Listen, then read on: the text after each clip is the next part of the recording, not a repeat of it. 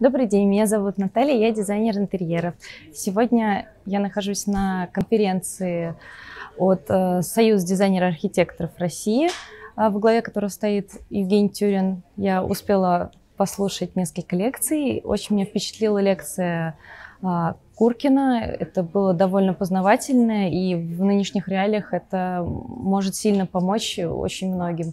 И также от Тюрина мы получили большое количество инструментов для продвижения, которые также в нынешних реалиях будут сильно необходимы.